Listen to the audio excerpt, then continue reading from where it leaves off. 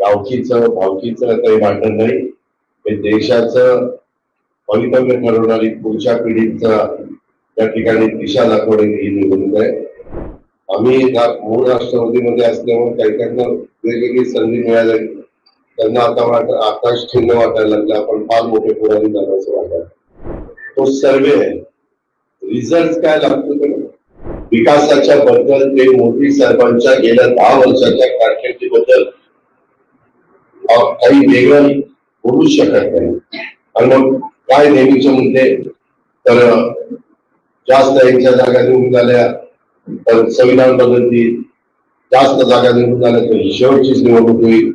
जास्त जागा निवडून झाल्या तर घटनेमध्ये काही बदल करतील. असं काहीतरी विशेषतः आमच्या मागासवर्गीय समाजामध्ये गैरसमज निर्माण करण्याचं काम तसंच आमच्या अल्पसंख्याक समाजामध्ये की बाबा हे लोक आल्यानंतर कुठेतरी अल्पसंख्याकांवर अन्याय होईल त्यांना इथनं बाहेर काढलं जाईल. असं काहीतरी काहीतरी धातूर मातूर मोठा नाटा प्रचार केला जातोय आणि तशा प्रकारच्या बातम्या सोडल्या जात आहेत. सोशल मीडियाला पण तशा पद्धतीनं काही सांगितलं जात आहे. आम्ही एकमेव महायुतीने डोळ्यासमोर ठेवलं आपल्या महाराष्ट्राचा विकास त्याच्याकरता मोदी साहेबांच्या नेतृत्वाखाली भरीव अशा प्रकारचा निधी आपल्या महाराष्ट्रामध्ये कसा आणता येईल तो प्रयत्न करणं आणि आपले केंद्र सरकारच्या अखत्यारीतले असणारे प्रश्न हे व्यवस्थितपणे ठराविक काळामध्ये पाठपुरावा करून ते मार्गी लावणं अशा पद्धतीची ही आमची निवडणुकीच्या प्रचाराची व्यूहरचना आहे.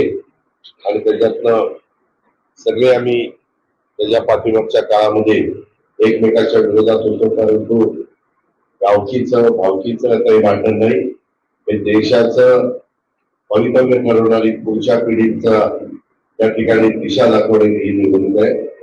म्हणून त्या निवडणुकीला एक आगळा वेगळा अशा प्रकारचा बनवतो आपण उमेदवारी न मिळाल्यामुळे धुसफूस सुरू झालेली आहे कालपर्यंत आपल्या महायुतीत असणारे उत्तर कार्यक्रम आज शरद पवार यांना जाऊन भेटलेले आहेत आणि त्यांनी मोठे पाटलांच्या प्रचार करण्याची हो निवडणुकीमध्ये प्रत्येकाला तुम्ही काय करावं जसा त्याचा अधिकार हे काय आत्ताच चाललंय असं नाही. कुठल्याही निवडणुका आल्या तर त्याच्यामध्ये अशा प्रकारच्या घटना घडतात. त्याला सत्ताधारीने पण सामोरं जायचं असतं आणि विरोधकांनी पण सामोरं जायचं असतं. ही निवडणूक आहे.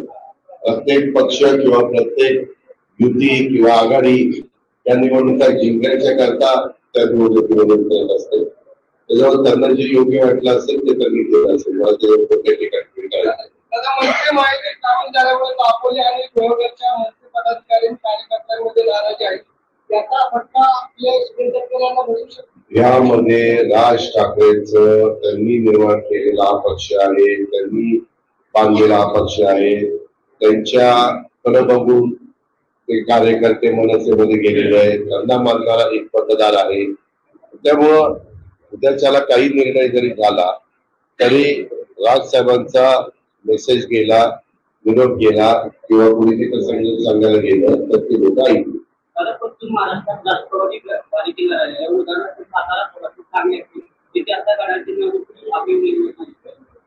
त्या संदर्भात मागं ज्या जागा त्यांनी लढलेल्या होत्या त्या साधारण त्याला त्याला द्यायच्या अशा पद्धतीने ठरलेलं होतं.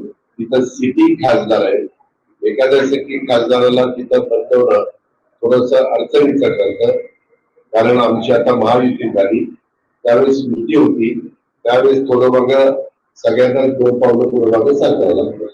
रामावरून दादा राजकारण केलं जातं. राम पाटोट्यांच्या मागे नसतो. असा आरोप संजय राऊतांनी केलेला त्यांच्या सगळ्याच उत्तराला सगळ्याच प्रश्नाला उत्तर द्यायला आम्ही बांधले करू आम्ही त्या गोष्टीला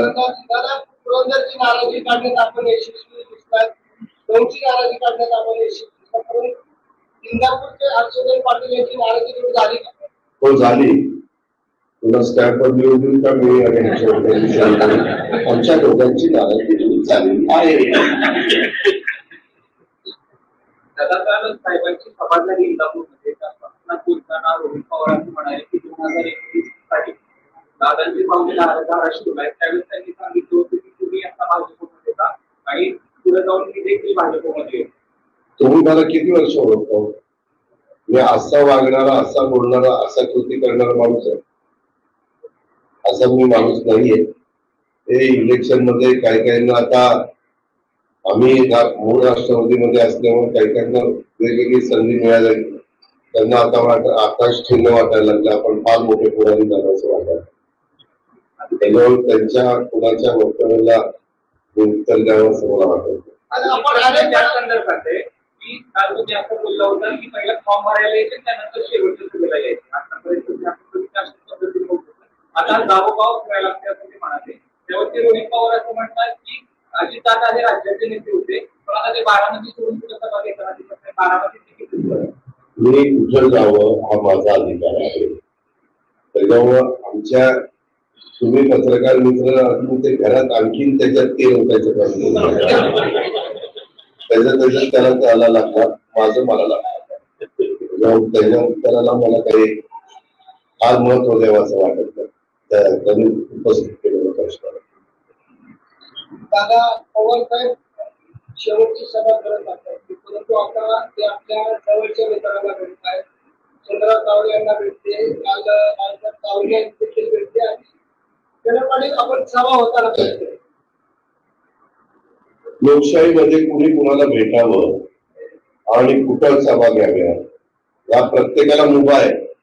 ती आपल्याला संविधानाने दिलेली बाबासाहेब आंबेडकरांनी दिलेली घटना त्याच्यामुळं त्यांना तसं वाटलं म्हणून ते तसं करतात मला त्याच्याबद्दल काय बोलायचं माझा आणि सर्वे केलेला आहे अर्थात निवडणुकीच्या आधीचा सर्वे त्यासाठी आपल्याला एकही जागा दिसताना दिसत तो सर्वे आहे रिझल्ट काय लागतो आपले सत्य भाऊ कधीने बोलणारे परंतु गावच्या एका अं, सभेमध्ये बोलताना बोलून गेले आणि नंतर ते परत आता प्रचारामध्ये दिसलो नाही आणि कुठं भाषण करताना.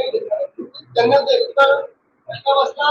आपण आपल्याकडे चुकीचं बोलणं गेलं माझी त्याची भेट झाली नाही ज्यावेळेस भेट होईल त्यावेळेस आपला प्रश्न जरूर मी त्याला विचारीन. आणि पुढच्या वेळेस तुझी माझी भेट होईल त्यावेळेस एकंदरीत राज्यात सरकार त्यावरती गांभीर्याने विचार करत नाही असं सातत्यानं आरोप विरोध करत आज सरकार म्हणून एकत्र शिंदे देवेंद्र फडणवीस मी आम्हाला आचारसंहिता करून करण्यात लागू आहे. त्या बाबतीमध्ये माझ्या माहितीप्रमाणे चीफ सेक्रेटरी त्यांच्या स्तरावर बैठका घेत आहेत. बारामतीमध्ये मधी कलेक्टर पण काही येऊन बैठका घेऊन गेले. अलीकडे ईव्ही सॉरी ह्याच्यावर व्हिडिओ कॉन्फरन्सिंगच्या द्वारे तुम्ही कुठं काय चाललंय कुठं काय चाललंय याची माहिती घेऊ शकता. बहुतेक ठिकाणी टँकर देण्याचं काम ते करतायत. चारा डेपोच्या बद्दल पण मागणी आहे ती पण लवकर द्यावी. अशा प्रकारचे आपण प्रयत्न करतो केंद्राचा पण निधी त्याला आलेला येईल त्याबद्दल कुठली काळजी नाही. त्याच्यामुळं आचारसंहिता लागणार हे गृहित धरून त्याच्याबद्दल जी काही तजवीज करावी लागते ती सगळी तजवीज आम्ही करून ठेवलेली आहे. प्रशासन यंत्रणा त्यांच्यावर गमन लोड आहे की निवडणुकीची पण जबाबदारी अनेकांच्यावर दिलेली आहे. आणि त्याचबरोबर हे पण एक नैसर्गिक संकट आलेले आहे. त्याच्यावर पण मात करून त्यांना तिथं लोकांना मदत करायची असते.